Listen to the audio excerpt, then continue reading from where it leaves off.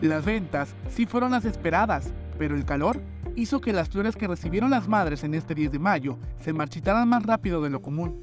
Así lo expuso una florista de Tuxtla Gutiérrez. En este 10 de mayo no, no, no me afectó tanto, la venta estuvo muy bien, te puedo decir que se estuvo vendiendo, por lo regular lo que es del calor no, no me afecta.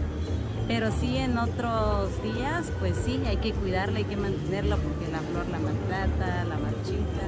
Pero sí, este 10 de mayo no, nos fue muy bien. Particularmente en la primavera de este 2023, las temperaturas han sido altas en la capital de Chiapas, por lo que la vida de las flores se acorta y representa pérdidas para este sector.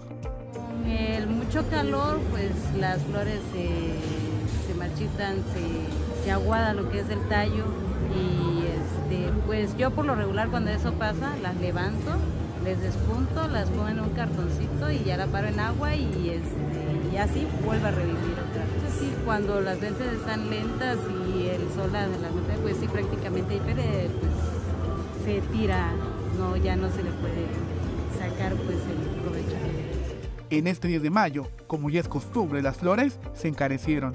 La florista acusó a que se debe que el precio lo establecen directamente de los proveedores, que al ver que hay mucha demanda, suben los costos. Los proveedores les suben más que nada. Entonces nosotros como revendedores pues igual tenemos que subirle el precio. Porque normalmente cuando está barato nos dan precio igual y nosotros le, bajamos de precio. Al menos esta vez de lo que se daba normalmente, lo que son 5 pesos, se dio a 10 pesos. Al menos yo a 10 pesos pues arreglada porque cuando sube más es igual por lo mismo cuando sube mucho el follaje, todo el material.